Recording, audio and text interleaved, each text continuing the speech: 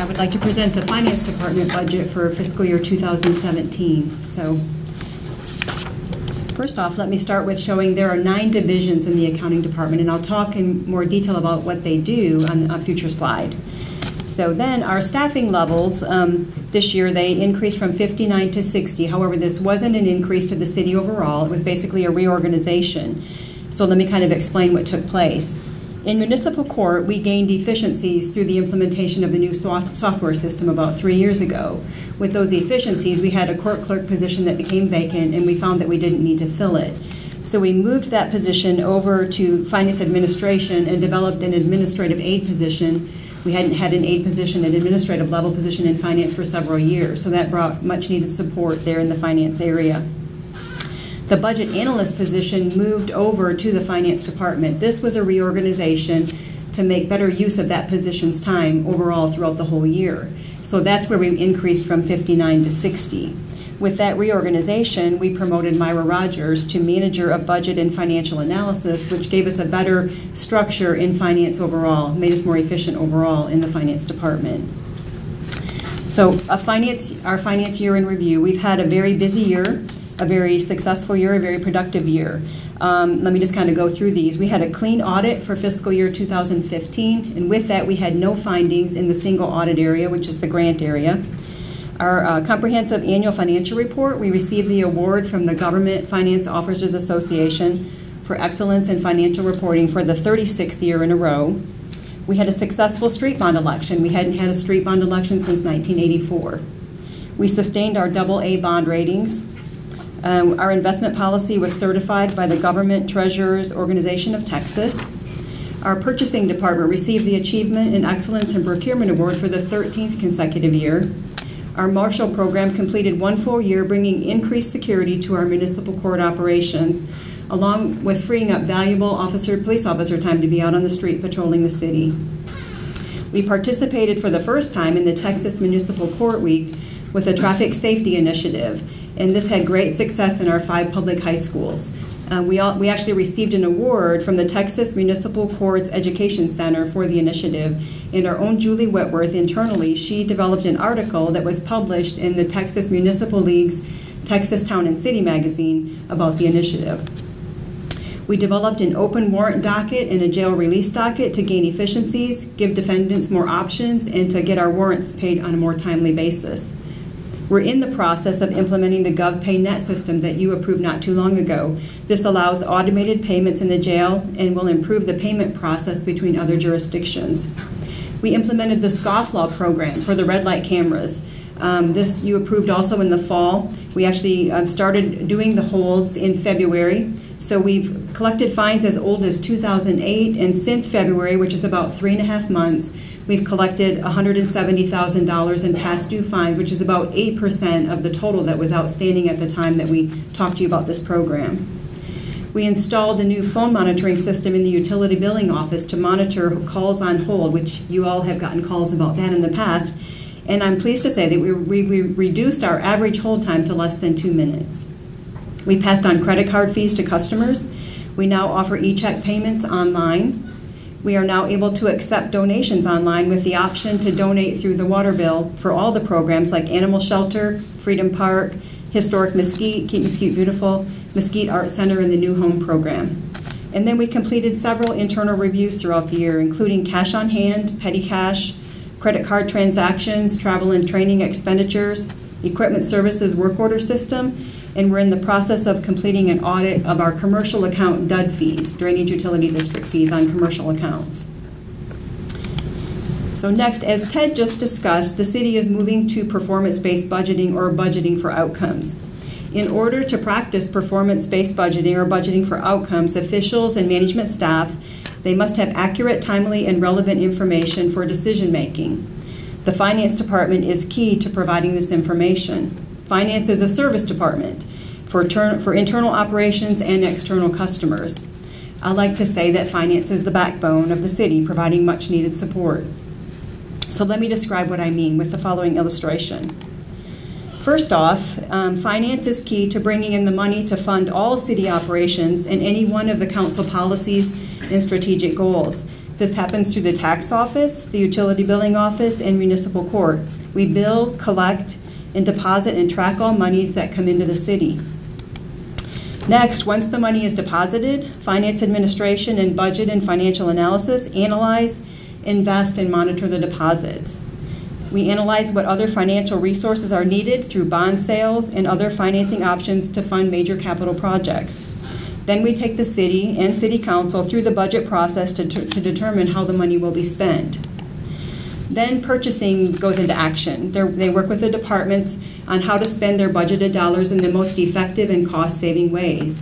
The purchasing policies, procedures, and guidelines set by the city ensure that we are following established laws by the state of Texas and federally guided grant programs. Our warehouse, our warehouse and print shop, mailroom, um, they provide additional support. Warehouse keeps track of all regular supplies and materials that are critical to city operations, like equipment service repair parts, uh, street and sanitation supplies, water and wastewater repair supplies, and other city departments' operational supplies. The mailroom facilitates, of course, all mail coming in and going out through all the city departments. You might say it's kind of like a mini internal post office or a FedEx operation. The print shop supports all departments for necessary forms, promotional materials, and many types of reports. And then accounting must account, accurately record and account for all of these transactions and make sure that we comply with all financial reporting requirements. Accounting processes all payroll so that city employees get paid, and the city must have paid employees to carry out any one of the city council policy issues and strategic goals. So finance is definitely the backbone of city operations. Let me now show you how finance ties into the current city council strategic goals. Keep in mind the backbone of financial resources information reporting through all the areas, but more specifically, in the area of public safety and neighborhood appearance and condition. Um, municipal court is a big part in this process um, on the enforcement side. When violations occur, of course, citations are issued um, to charge a fine for breaking the law or the rules. So that's for both traffic and code enforcement type violations. The idea behind fines is to require the person to pay and bring about a change in behavior. So the court operation is very instrumental in that whole process. And then, more specifically to these two goals, the red light camera program went into place in 2007. And it has been a great way to use technology to enforce safer intersections without having to have a police officer stationed at every intersection throughout the city. And then the upcoming MISD photo enforcement program for their buses is another use of technology to bring improved safety for children loading and unloading their school bus. Both of these programs, the red light camera and the MISD photo enforcement, are programs funded through the violation revenues and do not cost the city extra money.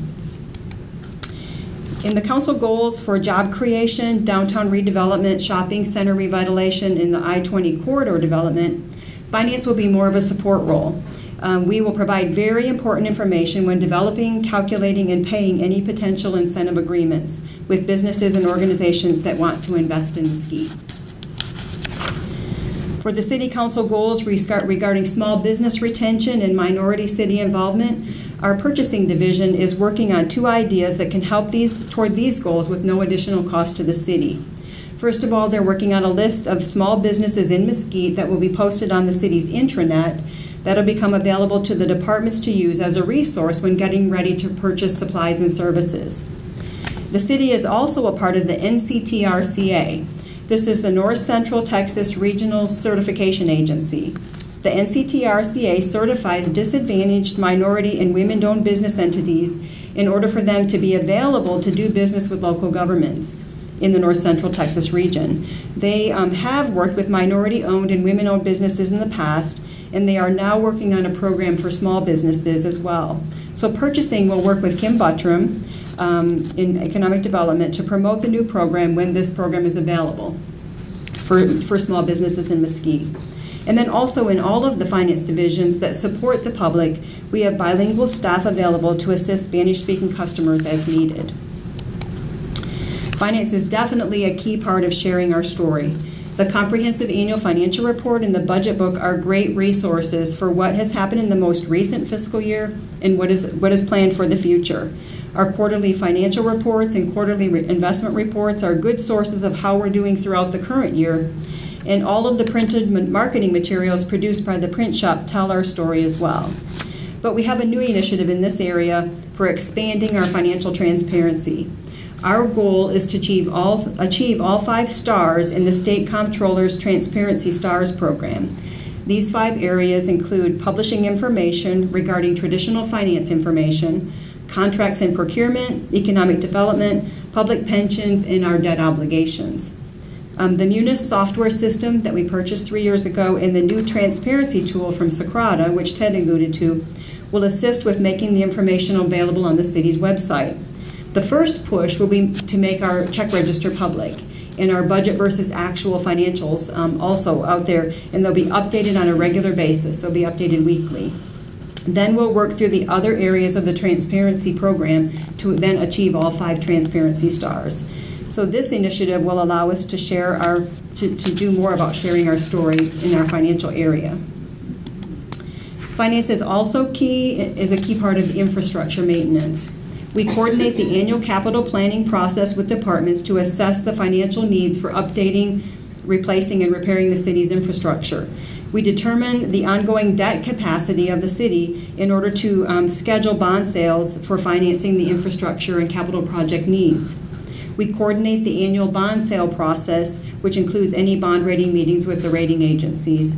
And then accounting also tracks all fixed assets and coordinates regular fixed asset inventories to ensure accuracy. So, along with the capital work, a major goal for finance is to maintain our AA bond rating with the bond rating agencies. So, finance has an excellent, hard-working, committed employees.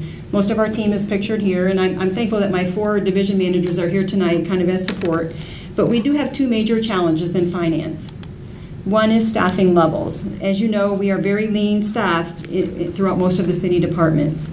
Several areas in finance actually found relief from the implementation of the new software system because we gained efficiencies, especially in utility billing, court, and tax. Our biggest staffing level challenges between accounting, budget and financial analysis, and finance administration. In these three areas, we have many projects and internal reviews that we would like to do, um, and we do them, we're, we're limited in how quickly we can get to them. So we do them as we have time and try to get them completed. We do the best we can with the staffing levels in place, uh, making sure all critical items and required reporting items are completed on time. The second challenge we have, of course, is rising cost. We understand the effect of rising cost on our customers and citizens, um, like the water and wastewater rates from North Texas Municipal Water District, and really the overall cost increases for increases for supplies and service. So we continually look for ways to reduce cost, improve efficiencies, and improve processes to help minimize the effect of those cost increases on our citizens and our customers. So finance, our proposed budget for next year really is basically no increase. Uh, finance is budgeted both in the general fund and the water sewer fund. We have divisions in both funds.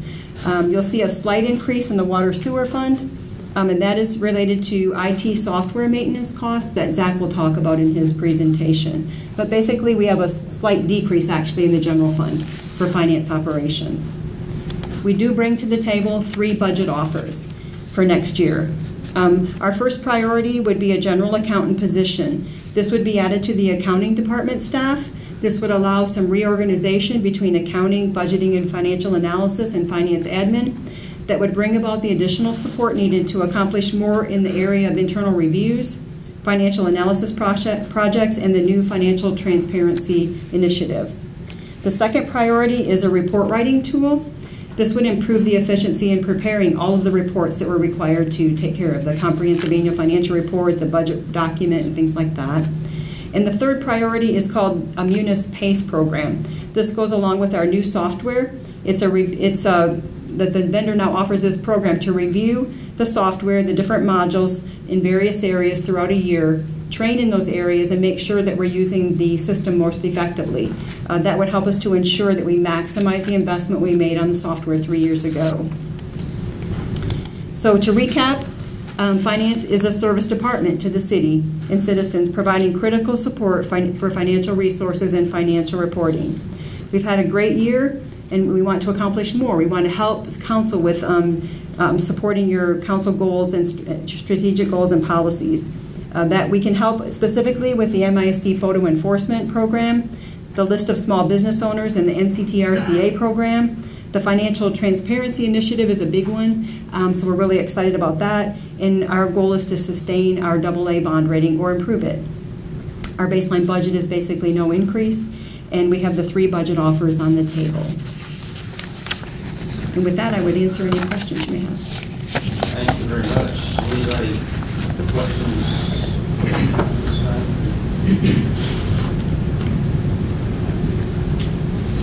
Oh. I just appreciate you sharing about that y'all continue to look for creative ways to, to keep costs down. We have so many citizens who are older residents on fixed incomes and so